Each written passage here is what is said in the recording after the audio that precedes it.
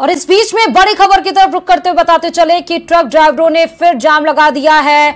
Hit and run case में अभी भी जाम लगा हुआ नज़र आ रहा है। अजमेर में ट्रक ड्राइवरों का चक्का जाम। अजमेर कोटा राजमार्ग पर ये चक्का जाम किया गया है। जाम के चलते राजमार्ग पर लंबी वाहनों की कतारें नज़र आ रही हैं। पुलिस प्रशासन समझाइश में जुटी हुई है, समझाने की कोशिश कर रही है।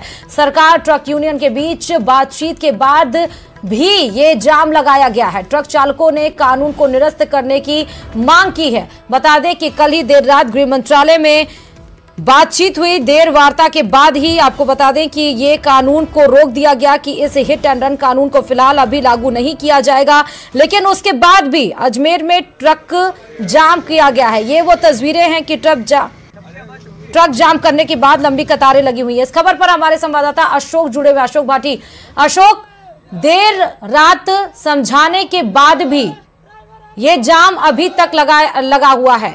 क्या और जानकारी? जी बिल्कुल सांवर जो कस्बा है उसके पास अजमेर कोटा राजमार्ग है वहाँ पर ये जाम लगाया गया है। हम्म। बताया जा रहा है कि सभी से समझाइश की जा रही है। आपको हम्म। बता दें जो सरकार ने है उसको इस कानून पर फ़िलहाल जो है रोक लगा दी लेकिन ड्राइवर तक ये जो बात है वो नहीं पहुँची है। देर रात को जो ये कार्रवाई हुई है उसके बाद जो ड्राइवर चलते रहते हैं उनको ये जानकारी नहीं मिली थी।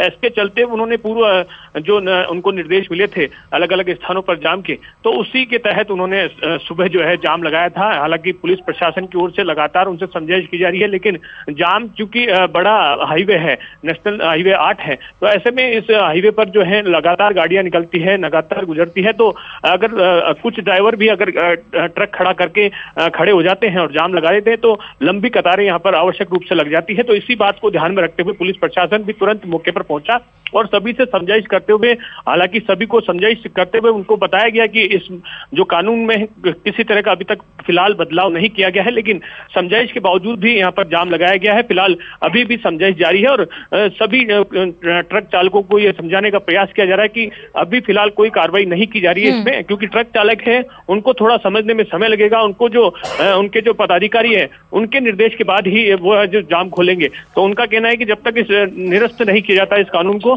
तब तक उनका जो आंदोलन जारी रहेगा। फ़िलहाल जो है समझाइश का दौर जारी है और उनका ये कहना है कि हमारे जो पदाधिकारी है उनकी ओर से जो निर्देश मिलेंगे, उसी तहत हम जो है कार्रवाई करेंगे। जी। बिल्कुल, लेकिन Ashok, all India motor transport congress से कल रात गृह मंत्रालय में बात हुई और उसके बाद प्रावधानों, कानून के प्रावधानों को अभी लागू नहीं किया जाएगा।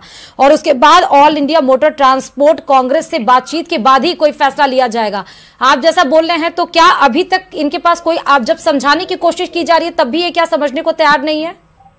जी बिल्कुल कई लोग जो हैं समझ चुके हैं लेकिन कुछ लोग जो हैं वो मानने को तैयार नहीं है। उनके पास उनका कहना है कि हमारे पास कोई आधिकारिक सूचना नहीं आई है। हाँ। इसके चलते ये जाम लगाया गया है। फ़िलहाल समझाइश के बाद हो सकता है कि आधे घंटे एक घंटे के बीच में उनके पास फ़ोन आ जाए बहुत बहुत शुक्रिया अशोक तमाम जानकारी देने के लिए।